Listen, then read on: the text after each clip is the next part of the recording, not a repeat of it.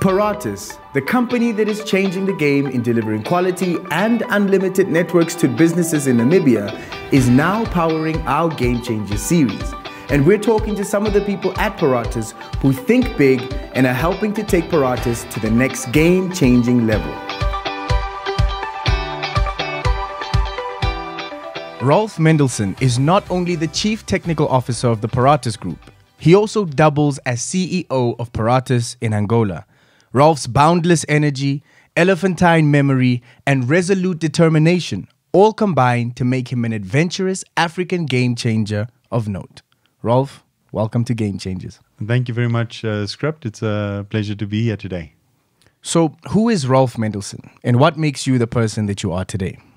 Well, um, I grew up in Namibia, and then I finished my uh, school uh, schooling at Pretoria Boys High, and um, then I worked here for a couple of years and went to Angola. At the age of 20, uh, we went to Luanda on the 23rd of February 2003 and uh, myself and a couple of our colleagues, uh, Barney Harmse, Miles October, we started the business.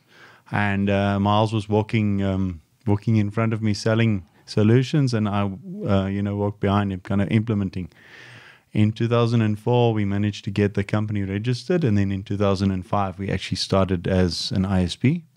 Um, initially providing services in Luanda, but then also later on traveling elsewhere in the country, for example, uh, Luena. Mm-hmm. Um, and back in those days, there were no commercial flights, so we had to take uh, military flights, Antonovs.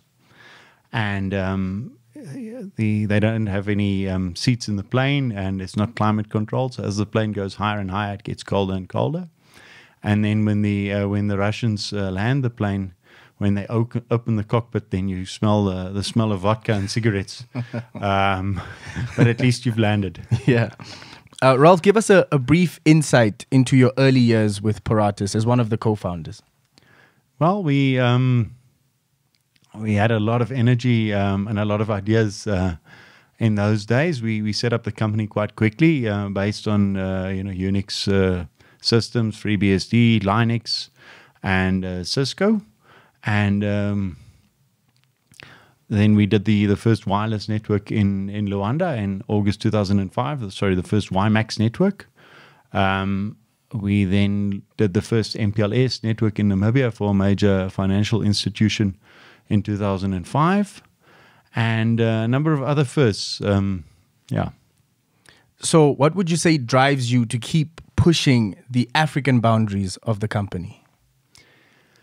Well, there's a lot. There's a massive um, need um, and requirement for uh, proper infrastructure on the continent. So um, we we see this in in Namibia, in Angola, Zambia, and elsewhere.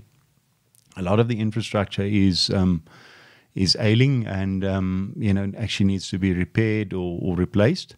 And then also, uh, you know, you've got new newer technologies such as fiber, which replaces copper, and such as 4G and LTE that replaces older wireless systems and so forth. So there's a, a massive demand for data and for quality infrastructure, um, both for, for consumers as well for as well as for businesses. The other thing that we uh, have invested quite heavily in uh, recently is data centers. We, we're busy now with the fourth data center that we're building in, in Windhoek and we're going to complete our Lusaka data center um, in July this um, this coming July, and then uh, the first two were in Luanda, and we're also looking at opportunities in the data center space elsewhere on the continent. Mm-hmm. So, Rolf, how do you stay ahead of the competition?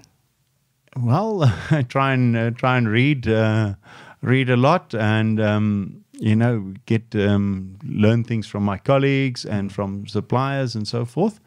And I think, you know, if you have to look at uh, competing with the competition, probably the easiest thing to do is just work a little bit harder. So, you know, mm-hmm. you work 10%, 15% harder. All other things being equal, you're going to be more successful than than the person uh, sitting next to you. Mm-hmm. Now, with that said, what is your biggest goal for Paratus at the moment? Well, I would like us to to expand our footprint into some new markets. So um, we're looking at, at opportunities in West Africa um, and elsewhere. I mean, at the moment, we're in six countries on the continent Angola, Botswana, uh, Namibia, South Africa, Mozambique, and Zambia. Mm-hmm. And um, we'd like to be in at least 10 in the next couple of years. So you speak Portuguese fluently as well. So maybe this next question you can answer in Portuguese and maybe then give us a translation as well. What is your belief of the future of Paratus? Um, eu acredito que nós temos um, a energia e a paixão um, para ser uh, bem sucedido uh, no nosso no continente e para um, ser a, a rede um, de qualidade da África. Which means I believe that we've got the the passion and the drive um, to be successful across the continent and to be Africa's quality network. Interesting. Thank you so much for taking the time to join us, Rolf. Ah, it's a pleasure. Thank you very much for having me here today. And that was Rolf Mendelsohn, our Paratus game changer. Thank you for joining me and Rolf Mendelsohn. Stay tuned for our next game changer, August Hangara.